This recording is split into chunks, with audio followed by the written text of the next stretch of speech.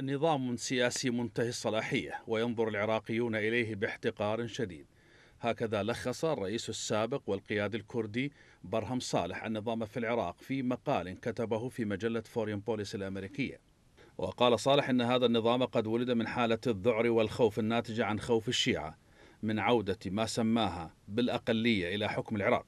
وهو خوف شاطرهم فيه الأكراد الذين انتابتهم حالة مماثلة من الخوف والذعر أيضا مما سماه بالاستبداد السياسي من المركز بينما كان العرب السنة غائبين بل مغيبين بالكامل عن الوضع السياسي الجديد. وهذه المخاوف التي سيطرت على الشيعة والأكراد بحسب برهم صالح ونظام الحكم الضعيف. نتج عنه ظهور دولة مقيدة وهزيلة هيكليا تهيمن عليها أطراف غير حكومية في إشارة واضحة إلى الميليشيات الولائية المرتبطة بإيران.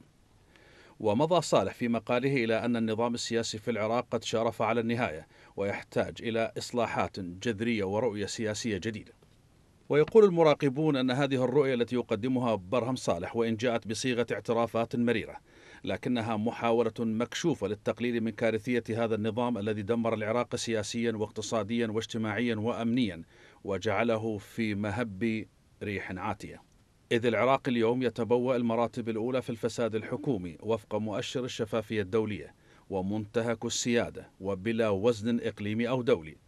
وأن حالة الخوف والرعب التي كانت تهيمن على الشيعة والأكراد بعيد العام 2003 أصبحت تهيمن بالكامل على كل الشعب العراقي الذي أضحى عرضة يومية للخطف والاغتيالات وما جرى في المحافظات المنكوبة من تغيب قسري لآلاف السكان وقتل 1200 من متظاهري ثورة تشرين وإصابة الآلاف منهم يلخص ويجمل طبيعة هذا النظام الدموية واستعداده الدائم للبطش والتنكيل بكل صوت أو قلم مناهض له أو منتقد لفساده. وحديث برهم صالح عن أن هذا النظام منتهي الصلاحية ولا جدوى من استمراره تشخيص ورؤية. سبقته إليها ممثلة الأمين العام للأمم المتحدة جيني بلاسخارت عندما قالت إن النظام السياسي في العراق يجب أن لا يستمر وإن استمر بهذه الصيغة فسيأتي بنتائج عكسية.